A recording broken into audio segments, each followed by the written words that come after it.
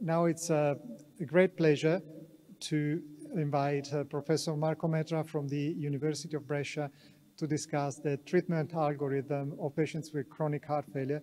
Professor Metra, besides being a great, a great friend, is uh, the editor of the European Heart uh, Journal Heart Failure and is board member of the Heart Failure uh, Association. But what is important is the chairman, one of the two chairmen of the uh, guidelines of the uh, uh European Society of Cardiology and Heart Failure Association on uh, heart failure. But, uh, so please, Marco. So thank you, Giuseppe. thank you for the invitation. I must say that Professor Rosano, Giuseppe Rosano, insisted very much to have me in, in Dubai and uh, I'm sorry now that I see him not to uh, not to be there, but uh, times are also very busy here, and I don't know uh, what it is better to do. Uh, so let me share my screen and uh, let's see what to say about the treatment of the patients with heart failure and uh, reduced ejection fraction. You, I think you can see my screen. Uh, the, uh, the, the algorithm that we had for uh, heart failure, uh, for the treatment of heart patients with heart failure and reduced ejection fraction in uh, 2016 was this one. Uh, it was an algorithm that was uh, uh, based on neurohormonal antagonists and uh, uh, it was based on a so-called uh, stepped approach, add-on approach, so that each class of drugs should be started, titrated, and then the patient be reevaluated and in case that uh, uh, the patient is still symptomatic with a low ejection fraction, uh, we add another drug. So we have three, three steps, start with an ACE inhibitor and a beta blocker, then reevaluate, add a mineralocorticoid antagonist, then reevaluate and uh, consider um, cardiac resynchronization therapy, then reevaluate and consider uh, substitution of the ACE inhibitors with an ARNI and uh, ivabradine uh, if uh, there is sinus tachycardia and, and um, sinus tachycardia. So this approach took at least a few months, many weeks, and uh, it took a, um, I think, a specialized clinic where the patient can be uh, seen often, um, maybe by nurses, uh, not necessarily by physicians, but uh, it's a long process and uh, um, with a continuous evaluation of the patient. Uh, what is the results that we have with this kind of approach? The results are that um, most of the patients uh, um, are, uh, do not receive uh, the target doses of the drugs shown as beneficial in the patients with heart failure. You see that le less than 30% of the patients uh, receive target doses of ACE inhibitors, uh, less than 20% beta blockers, and less than 20%, 30% of anti-aldosterone agents. And, uh, uh, and this is a survey from uh, the European Society of Cardiology published in 2013. But these are more recent data. And here in, this in this paper in ESCR failure, uh, the authors put together the data on uh, uh, multinational registries. CHECK-HF was European and American, CHAMP HF is from uh, Steve Greene, the first author from the United States. Qualify is from Europe, and you see that the uh, that uh, that uh, at least one quarter of the patients receive less than 50% of the target doses, and uh, uh, only a minority receive uh, target doses of ACE inhibitors or ARNI. Um, uh, there is a, a, a suboptimal dose in many cases uh, regarding also beta blockers, although in this case is uh, the heart rate, which is important. You see also for mineralocorticoid antagonists that that um, uh, there is a, a, significant proportion of patients receiving less than target doses. Uh, this is uh, the, the American registry that I was mentioning before, CHAMP-HF, and it's important that even uh, uh, without considering target doses, just considering uh, whether the patients are receiving the drug, you see that 40% uh, um, uh, of the patients without contraindications are not treated with an ACE inhibitor. 86% uh, of the patients without the contraindication are not receiving an ARNI. And, and if we consider the, all these groups of drugs, uh, still one quarter, more than one quarter of the patients do not receive them even if uh, uh, the patient doesn't have contraindication. The same uh, for beta blockers, more than 30% of the patients do not receive them without contraindication. And the mineralocorticoid antagonists, we know very well that the patients are undertreated with respect to these drugs. 64% of them did not receive them without having a contraindication. So there is a, a, an undertreatment of the patients with failure. This is a study which I uh, like very much. It has been uh, uh published in uh, this uh, September issue of the European Journal of Heart Failure, which I prepared, which I corrected the proofs uh, this morning. And uh, uh, the authors took registries from United States, United Kingdom, and Sweden, and uh, um, uh, and uh, followed for one year the patients who started the treatment with ARNI, mineralocorticoid antagonists, beta blockers, and ARBs or ACE inhibitors. The red area are the patients who uh, discontinued the treatment in, during one year. And you see that uh, ARNI were discontinued in 27% of the patients, anti-aldosterone antagonists in 40% of the patients, uh, beta blockers again in 24% of the patients, and then a, a, significant proportion of the patients, those intermediate, were not uh, titrated to target doses. So in clinical practice, uh, uh, neurohormonal antagonists are still used or neurohormonal modulators are uh, still uh, not used in a significant proportion of patients and are uh, often discontinued and more often not titrated to target doses. And this despite we have data uh, showing that uh, receiving a target doses or at least 50% of the target doses is associated with a better outcome of the patient.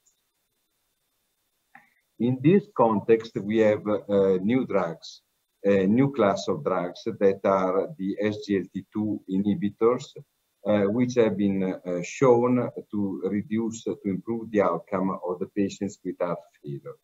Uh, the uh, trial, the first trial was DAPA-HF, published in 2019, showing a 26% reduction in the primary outcome, as well in its uh, single components uh, of this primary outcome uh, failure hospitalizations by 30% uh, and cardiovascular death by 18%.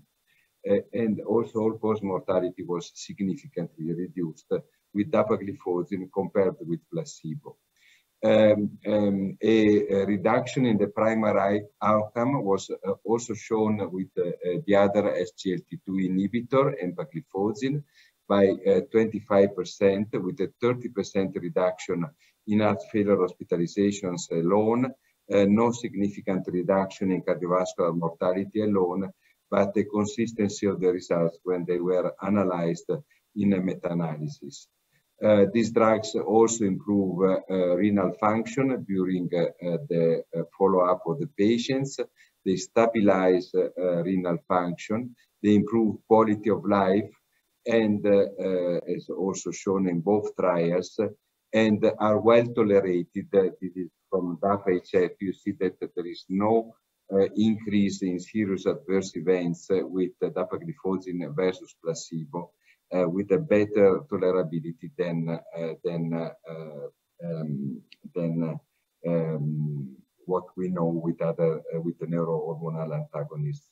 Um, uh, other things, uh, the effects on blood pressure are very mild, and this may increase tolerability. You see that there is a, a two millimeters of mercury decrease in systolic blood pressure in overall the patients in DAPA-HF, larger decrease in the patients who start with a, a, a higher blood pressure, and a smaller decrease in the patients who start with a lower values.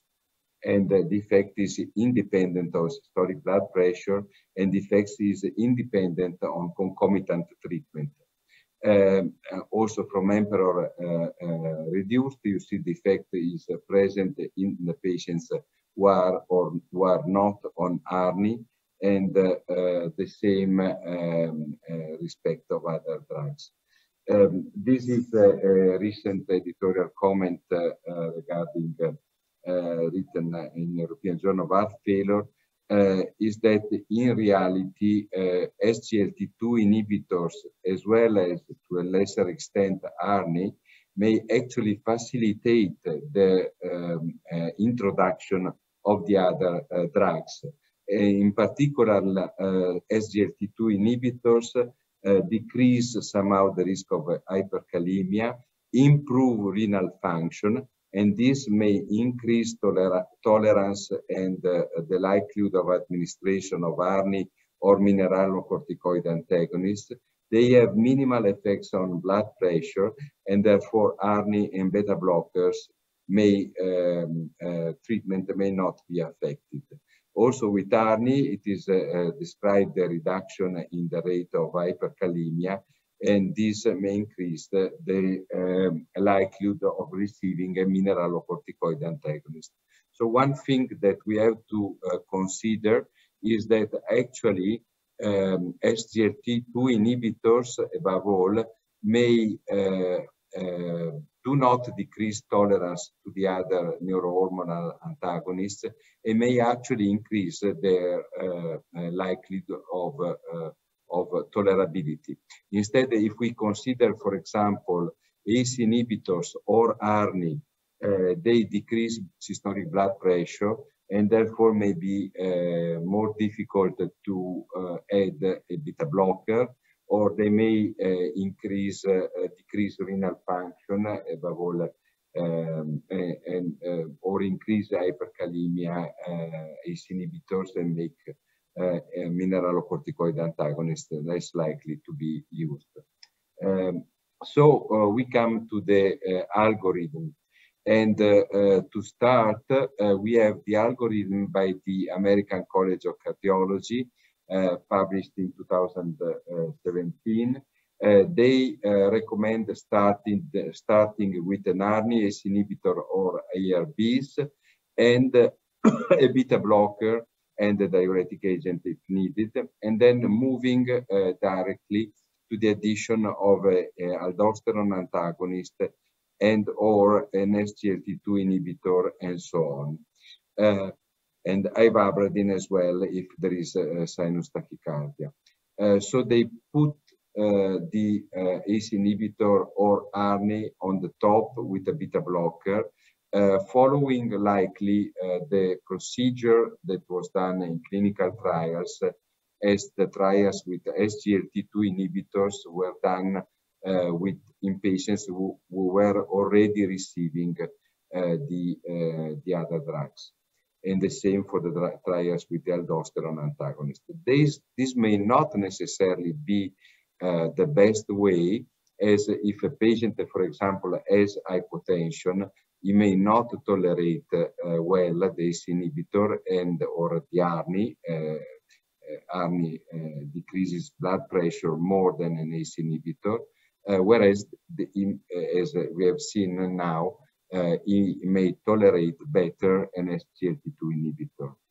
Uh, on a different approach is the one by Milton Packer and McMurray, published in a viewpoint in circulation and a review paper in European Journal of, Heart, uh, of Heart Failure, they recommend starting with a beta blocker and an SGLT2 inhibitor, and then adding a, an ARNI and or a mineralocorticoid antagonist.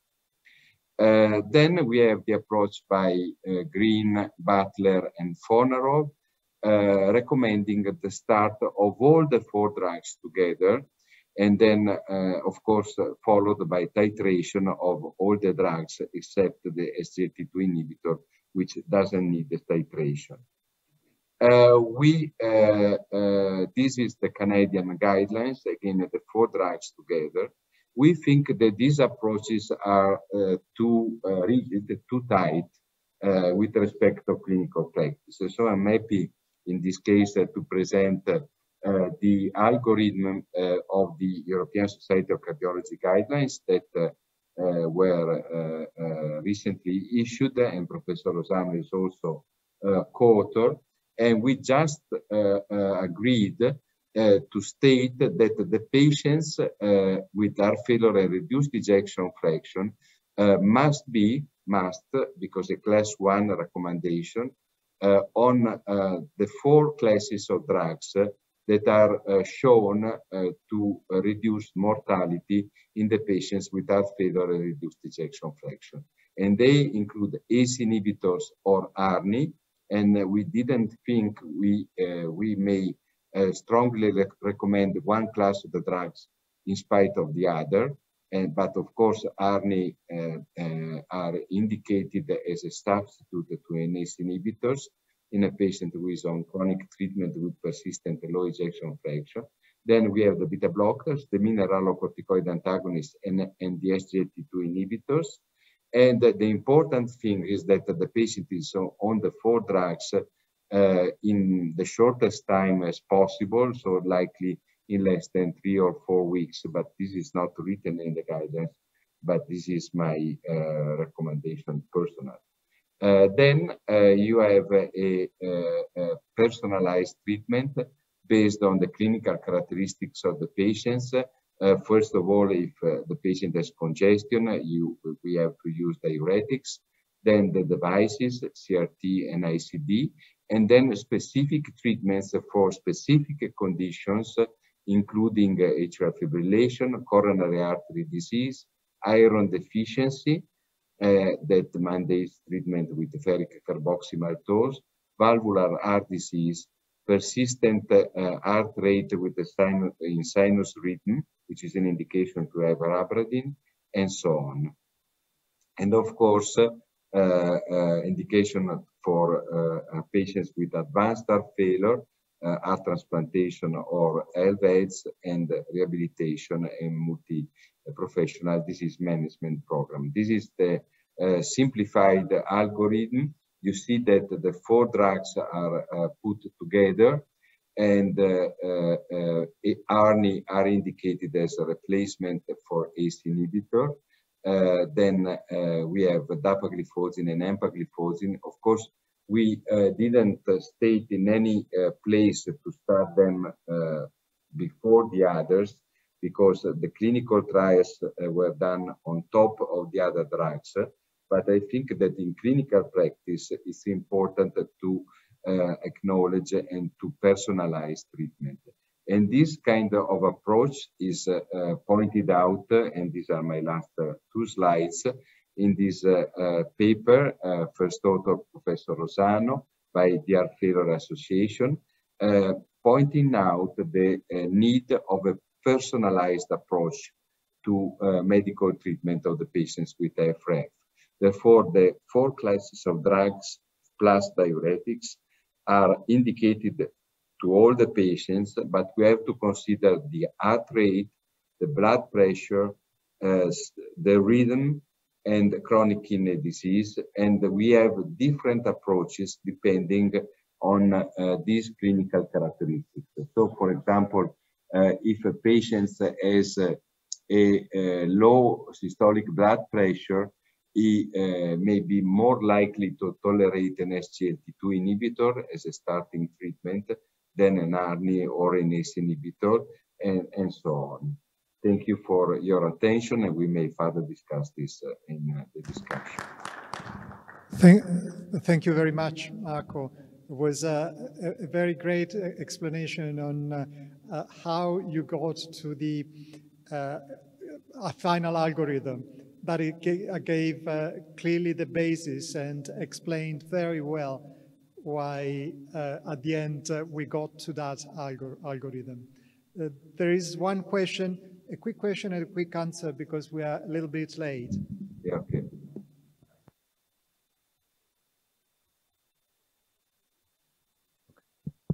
the problem which we face in renal problem, we have to sacrifice one of, yani, to start to sacrifice the medication.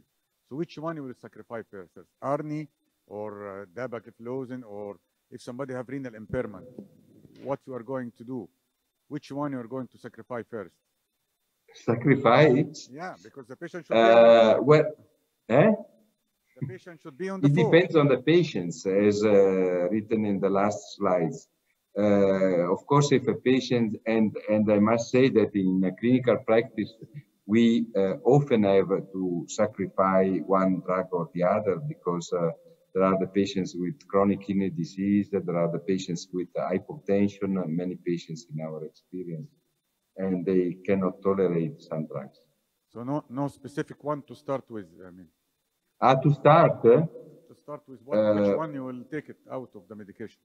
Uh, well, to be uh, honest, uh, myself, taking into consideration that I don't have a, big, a large experience because uh, are still not uh, um, reimbursed in Italy for uh, patients without diabetes.